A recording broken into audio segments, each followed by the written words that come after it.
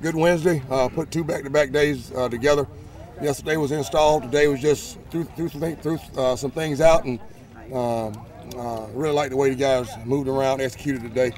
Uh, special teams as well. Uh, good job. I'm looking forward to finishing off tomorrow, Thursday, with a good practice too as well. Just like I'm sure everybody feels, but I know our kids here have invested a lot, and we put in a lot of time coaching-wise as well. So a win, win will be very important.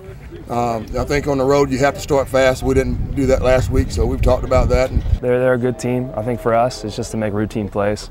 Um, quarterback wise, you know, like I said, just make routine plays, distribute the ball. We have a lot of playmakers on this offense, and our offensive line's been playing really well.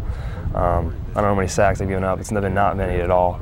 Um, so, you know, like I said, just make the routine plays and let our playmakers make the plays. Um, you can't turn the ball over any time, whether there's someone that's close to you starting or you know you're head over heels or you're head over the guy behind you. Um, either way, you can't turn the ball over.